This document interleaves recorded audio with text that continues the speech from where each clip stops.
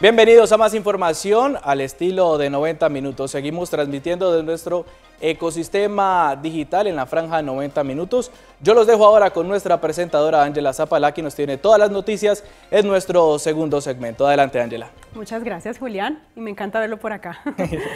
Y hoy a partir de las 9 y 15 de la noche no se pierda el gran debate final con los candidatos a la gobernación del Valle. El encuentro de aspirantes que se realiza en el marco del ciclo de debates 2019 se llevará a cabo desde los estudios de la Universidad Autónoma de Occidente y tendrá transmisión en directo por Telepacífico para que los vallecaucanos no se lo pierdan. Este estudio de televisión ubicado en la Universidad Autónoma de Occidente será el próximo punto de encuentro entre candidatos a la alcaldía de Santiago de Cali y candidatos a la gobernación durante los dos últimos ciclos de debates, con transmisión en vivo a partir de las 9 de la noche por el canal regional Telepacífico. La cita del día de hoy será con los aspirantes a la gobernación. Aquí hablarán sobre los principales temas que le aquejan a los vallecaucanos. Estamos preparándonos, trabajando fuertemente. A las 9 y 15 estaremos iniciando este debate final para la gobernación eh, y que creo que va a dar muchas claridades y las claridades finales sobre mm, cómo eh, optar por el voto en la región. Un debate de estos tiene éxito solo si las preguntas son lo verdaderamente concretas para que los candidatos respondan lo que verdaderamente se puede hacer. No hay charlatanería ni hay propuestas huecas, debe haber propuestas con mucho contenido. Todo un equipo técnico y periodístico trabaja desde ya para que usted se conecte esta noche con la transmisión en vivo por el canal regional Telepacífico y conozca de primera mano las propuestas con los candidatos a la gobernación del Valle. Además, podrá revivir los mejores momentos de la jornada mañana a partir de la 1 de la tarde en el noticiero 90 minutos. Muchas gracias, Jairo. Y precisamente antes del último encuentro de los candidatos a la gobernación del Valle, durante el ciclo de debates, varios de ellos cerraron campaña este fin de semana. Esta y más noticias en nuestra agenda electoral.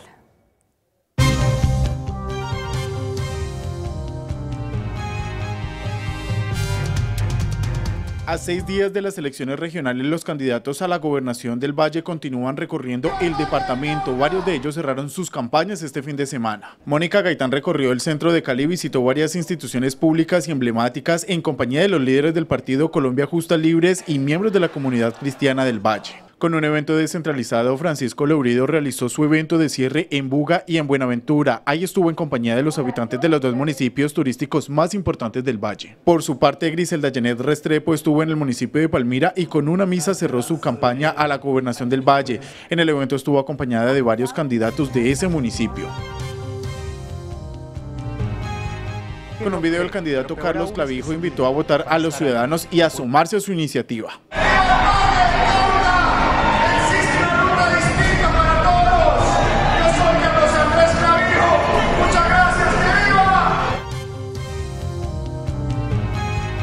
Por otra parte, el candidato a la gobernación del departamento, Carlos Sami Valencia, habló con las cámaras de 90 minutos. Ahí habló de varios temas. Es importante militarizar el departamento, obviamente, con todas sus, su organización y, con toda su técnica dentro de lo que cabe en cuanto a seguridad.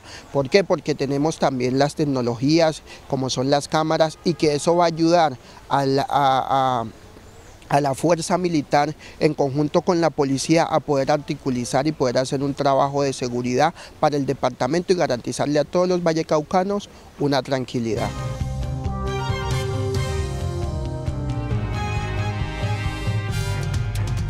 Y escuchen esta buena noticia. En los farallones de Cali fue hallada una nueva especie de ave nativa, la número 562 en la capital del Valle.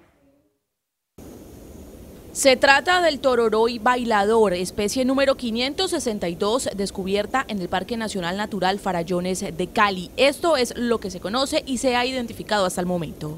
Recuperando los últimos datos, eh, recibiendo también eh, información de, de, los guardabosques de, del DAGMA, que nos están dando datos más de comportamiento y de la ecología. Una cosa que sí tiene que quedar muy clara es que es una especie muy, muy crítica porque solo está en una quebrada. Y solo hemos, en este momento, solo hemos encontrado unos cinco territorios o menos. Entonces hay que hacer más exploraciones, obviamente en el futuro, a ver dónde está, seguro está en otros sitios, y esto pasa normalmente cuando se descubre una nueva especie, la gente empieza a ponerle más atención y a buscarla, y seguro esperamos que aparezca en otros sitios, eso sería bueno para la especie, porque si solo está restringida a un punto, va, va a estar naciendo, pero al mismo tiempo muy amenazada y muy crítica. Entonces, la restricción, como hablamos, que la gente no trate de ir, esperen a, a, a las instituciones del DAGMA.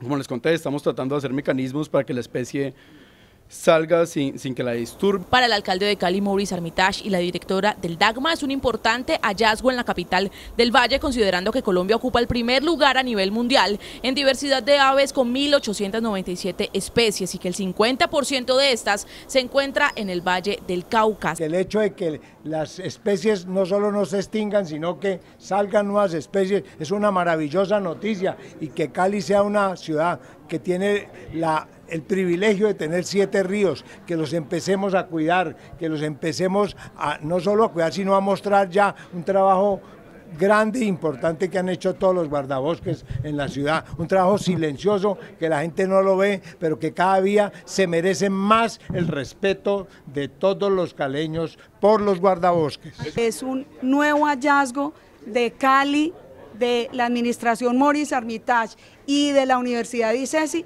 para la ciencia mundial.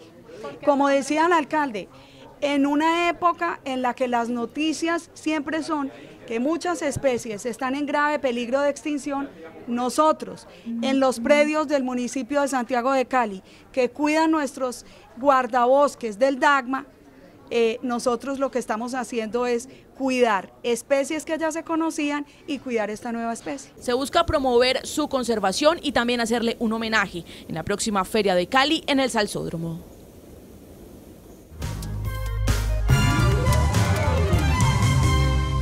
Gracias por seguir conectados con todas nuestras noticias. Iniciamos nuestra sección de opinión con la nota más comentada y compartida en nuestras redes sociales y portal web acerca del papayazo que se vence el próximo 31 de octubre en Cali y que ustedes podrán acceder a los beneficios que ha dispuesto la Alcaldía de Cali.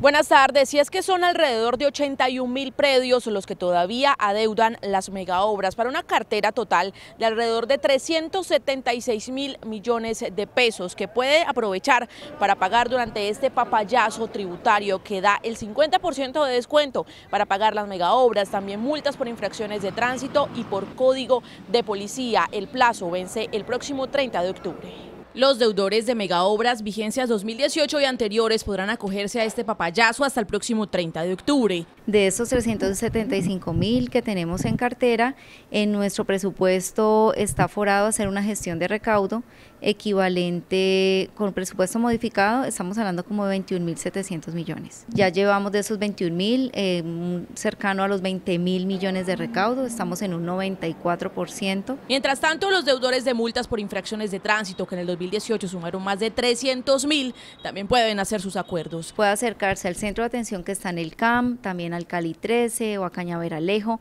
o puede hacer la consulta por la página web. Lo mismo pasa con los multados por código de policía. Recuerde que este papayazo tributario son para las multas de las vigencias 2018 y anteriores, no para las de este año, el 2019. Caterina Estacio desde el centro de Cali, porque el noticiero 90 minutos está en ti, está en todas partes. Catherine, gracias. Y como es habitual a nuestros seguidores en redes sociales, también le preguntamos acerca de nuestro tema del día y si usted se ha colgado con el pago de alguna multa o del aporte a las megasobras. De las 1.850 personas que hasta ahora han participado en nuestra encuesta, el 38% reconoce que sí se ha colgado en uno de los dos pagos, mientras que el 62% restante, aparentemente muy juiciosos, nos respondieron que no. Ahora es momento de conocer la opinión de ustedes, nuestros seguidores, hoy en nuestra red social de Facebook. E iniciamos con Fernando Velasco, quien nos respondió que no, porque gracias a estos pagos es que la ciudad puede avanzar desde diferentes aspectos. Continuamos con Luz Elena Otálora, quien señaló que en algún momento se quedó colgada por falta de dinero, pero los descuentos como el papayazo le permitieron ponerse al día. Por su parte, Héctor Bermúdez comenta que esa plata no se ve reflejada en ninguna obra o avance para la ciudad, pues la plata no se ve por ningún lado. Y finalizamos con Hilda Arango, quien siempre está al día y expresa que ojalá todos lo tuvieran en cuenta para el progreso de la ciudad. Recuerde que usted puede seguir participando de este tema y muchos otros temas con el hashtag Opinión90 porque su opinión nos importa.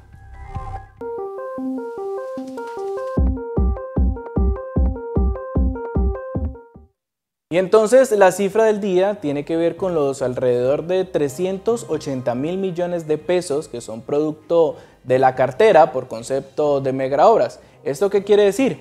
De 81.860 predios, más de 80 mil caleños, los que aún tienen alguna deuda con el municipio en el tema megaobras.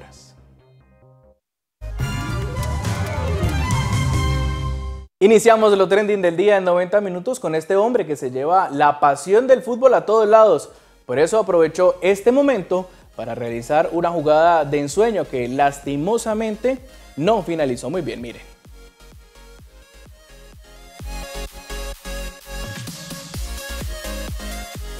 El problema fue que el zapato salió volando. ¿Dónde quedó? No se sabe. Y quienes saben de fútbol siempre dicen que la calidad de un jugador se puede ver solo con la manera en la que corre, calienta o realiza simples movimientos. ¿Cómo creen que calificaron a estos personajes?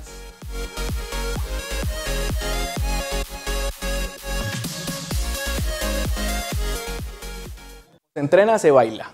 Y la emoción de conocer al mar por primera vez en una mezcla de sensaciones increíbles y una alegría inmensa que muchas personas no pueden controlar. Pues miremos a este hombre cómo le jugó una mala pasada la orilla del mar.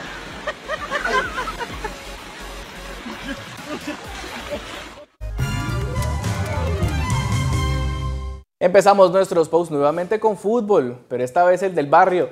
Ese donde nos divertíamos sin parar. Pues en esta ocasión, después de esta jugada, este pequeño se le salió la piedra y miren la patada.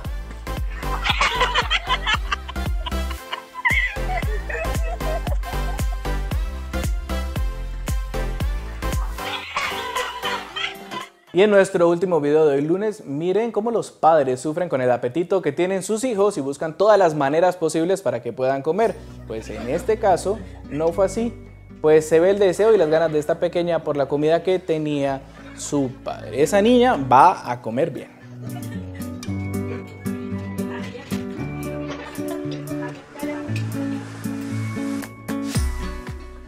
Hermosa. Una a 44 de la tarde yo los dejo con los indicadores económicos con el patrocinio del programa de Mercado de Negocios Internacionales del Agua.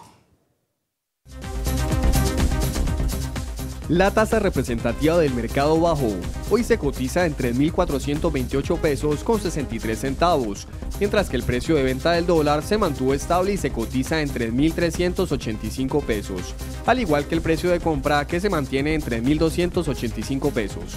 El precio del café subió y se cotiza en 1,30 dólares. El euro subió. Hoy se cotiza en 3.821 pesos. La UER sigue su tendencia al alza y se cotiza en 269 pesos con 64 centavos. El precio del petróleo WTI bajó a 53 dólares con 50 centavos el barril y el precio internacional del azúcar bajó y se vende en 12,29 centavos de dólar la libra.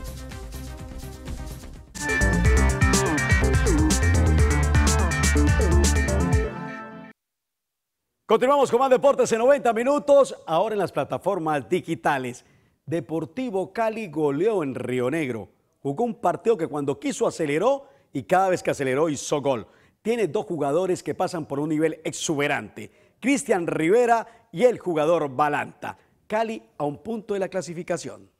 Cuando se gana un partido muchas veces no es por una clave, sino por un conjunto de cosas y situaciones que se van desarrollando en el juego y el equipo fue valiente como para poder ir en busca del resultado cuando, cuando inició el partido y se pudo poner en ventaja y después del empate el equipo siguió buscando, tuvo situaciones de juego, tuvo juego asociado, tuvo una buena definición y en el segundo tiempo por suerte eh, siguieron enchufados con contundencia y eso hizo que el equipo hoy mostrara una, una, buena imagen más allá del juego por el resultado que nos acerca más al objetivo deseado, ¿no? que es clasificar. Nosotros somos un equipo bastante eh, físico, dinámico y obviamente que con tanto trajín del calendario se hace un poco difícil. A propósito de la clasificación de América y el Deportivo Cali, hace mucho rato no teníamos a los dos equipos prácticamente clasificados faltando dos fechas. Sufren los equipos de Bogotá, sufre el cuadro Independiente Medellín. Aquí están los números en 90 minutos. Jugada la fecha 18 de la liga, la tabla de posiciones tiene clasificados al Atlético Nacional con 33 puntos y líder del campeonato. Segundo América con 32 puntos y tercero Atlético Junior con 31 unidades. Por asegurar su cupo están Deportivo Cali, cuarto y Alianza Petrolera quinto con 30 unidades sexto Independiente Santa Fe, séptimo Deportes Tolima y octavo Cúcuta Deportivo con 28 puntos. Luchando por su ingreso al grupo de los ocho están Medellín y Millonarios con 27 puntos y Caldas con 25 con opción matemática de clasificar. Faltando dos jornadas para finalizar la fase todos contra todos, en el descenso Atlético Huila con 131 puntos y Unión Magdalena con 132 son los equipos que hoy se van a la B. En la zona de riesgo están Jaguares de Córdoba con 133, Río Negro Águilas con 134 y Envigado con 135 puntos luchando para no perder la categoría. Esto es lo bonito del deporte.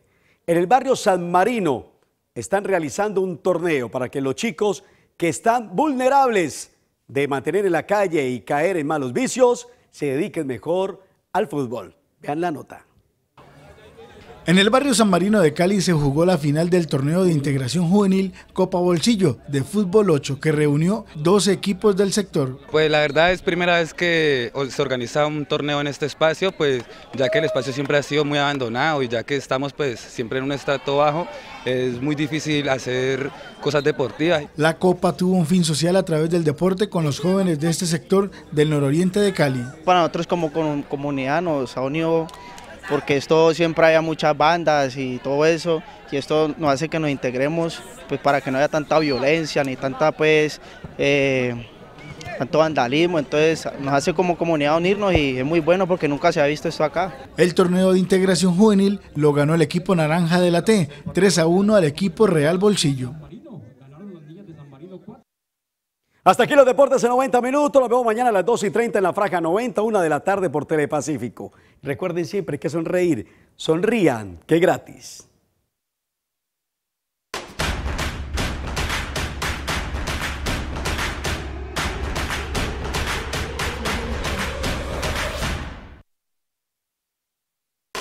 El trabajo de un productor audiovisual no es tarea fácil. Carolina Herrera, productora de la película.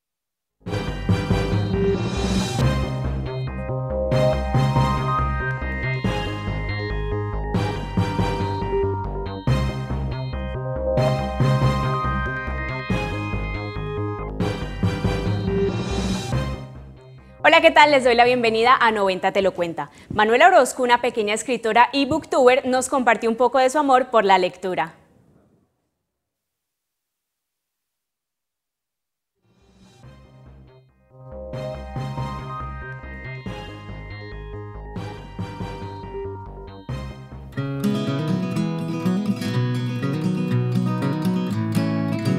Mamá, ¿esta es una historia? Con tan solo 8 años, Manuela es una de las booktubers caleñas con más interacción en su página de YouTube, acumulando en un año aproximadamente 13.496 visualizaciones. La booktuber se dedica a opinar, entrevistar y a fomentar los espacios literarios para incentivar a sus seguidores a leer. Yo, en vez de hacer todos esos retos eh, y esas cosas que hacen en YouTube, yo eh, comparto los libros que me leo, los libros que escribo a las personas que me ven. Manuela nos cuenta sobre su último libro titulado Camilo, el búho que le temía a la oscuridad. El libro que escribió junto a su madre fue lanzado el pasado 12 de octubre en la Feria del Libro de Cali. Se trata de que Camilo le temía a la oscuridad eh, y prácticamente también es mi historia porque yo le temía, le tenía mucho miedo a la oscuridad. Entonces Camilo al final tiene todo lo que yo hice para quitarme ese miedo. Leer es la pasión de Manuela, pero desde que es booktuber también le apasiona compartirle a sus seguidores su gusto por la lectura. ¿Y qué otra historia le gustaría escribir a Manuela? Me gustaría contar mi experiencia con mi gato cuando lo tuve por primera vez y entró a mi casa por primera vez. Y también otras historias que tenemos escritas, que las escribimos en las noches, cuando mi mamá me duerme. Eh, para dormirme inventamos una historia, que es que ella dice, había una vez em, dos elefantes que se querían mucho y entonces, entonces yo sigo y así hasta que creamos una historia. Manuela comparte su lectura en bibliotecas de la ciudad con diferentes niños y les deja este mensaje a aquellos que todavía no tienen el hábito de leer. No se saben de lo que se están perdiendo, porque la lectura es muy divertida, puedes conocer nuevas palabras, te puede ir mejor en la escuela, em, puedes conocer nuevas historias y pues sin leer uno Aventurarte con Manu, un proyecto que nació en 2018 y que crece cada día. La Feria Internacional del Libro de Cali 2019, como Francia como país invitado, Finalizó. Más de 270 mil visitantes recorrieron alrededor de 4 mil metros cuadrados de carpas llenas de libros y 110 expositores. Este año la feria creció un 25% con relación al 2018. 11 pabellones de libros, 4 auditorios con programación continua de 10 de la mañana a 8 de la noche promovieron ventas que superaron los 67 mil ejemplares. los administrativos y las comisiones y para finalizar, la exposición Pintando Vidas busca mostrar el arte que surge en una parte de la ciudad que ha sido afectada por varios problemas sociales. Las paredes del teatrino en el Teatro Municipal Enrique Buenaventura están pintadas de esperanza.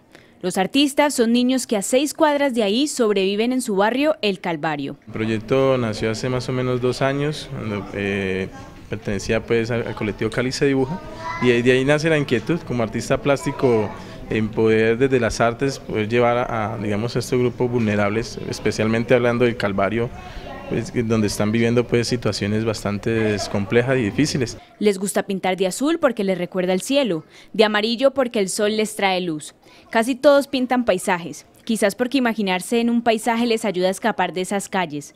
Las tres horas que pasan en ese taller les abre la puerta a otra realidad, la del arte. A los niños realmente pues, eh, son violentados sus derechos, eh, la escolaridad pues es muy mínima, eh, el hambre, bueno, muchas cosas que ellos viven allá y que estando, yo siempre he dicho que el ciudadano caleño de a pie pues tiende a, ignorar todo esto que pasa en la Cali. Y, y en este sector que es el centro pasan tantas cosas y muchas veces estamos preocupados por, por otras que realmente no, no, tienen sentido. La exposición se abrió al público el pasado 17 de octubre y estará hasta el 17 de noviembre. Esta cuenta con las fotos de los artistas y algunas de las pinturas que los niños han hecho a través de este taller. La siguiente noticia es de no creer. Un hombre, al parecer en estado de ebriedad, provocó un accidente en el centro de Cali y luego se sentó a seguir tomando porque el guarda de tránsito no llegaba. Los detalles en nuestra alianza informativa Tu Barco 90 Minutos.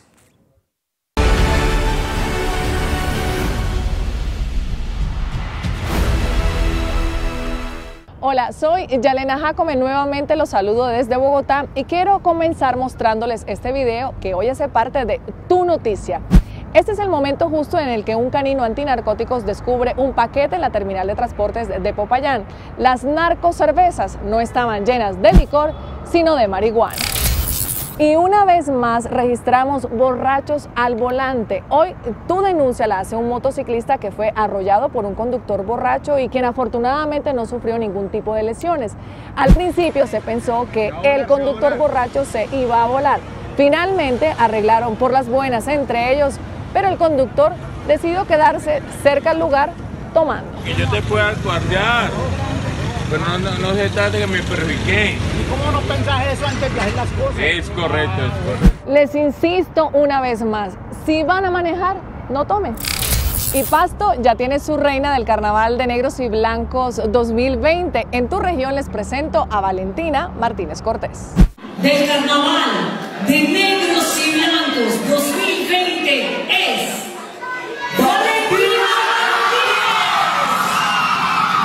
Quiero hacerles una invitación a todos ustedes y a todos los turistas para que vengan y disfruten de nuestro hermoso carnaval. Y para despedirme, esta pelea en una estación de Transmilenio aquí en Bogotá, en donde un grupo de auxiliares de la policía y de vigilantes de la estación se enfrentó con un grupo de colados, quienes sacaron un arma blanca y para defenderse, pues los vigilantes sacaron su arma de fogueo. ¿Saben en qué terminó esta pelea? Pues el vigilante que sacó el arma de fogueo fue retirado de la empresa y a los otros dos los suspendieron por no seguir los protocolos. Sanciones que a veces uno no entiende. Con eso me despido recordándoles que nos encuentran en Google como Tu Barco y en todas nuestras plataformas digitales.